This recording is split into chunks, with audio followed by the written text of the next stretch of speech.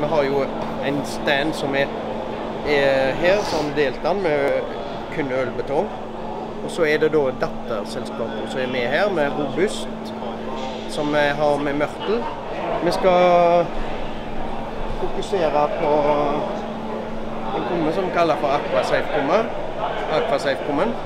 Og da eh, har vi lista opp ti sterke grunner for å velge en, en Aquasafe-kumme. Det er det jo at det, har vært forskjellig i vannkummene.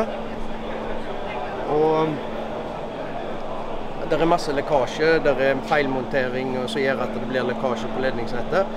Og Derfor har vi eh, utdanna folk i, gjennom Basal-regi. Noen av våre kunder og gjerne nye kunder.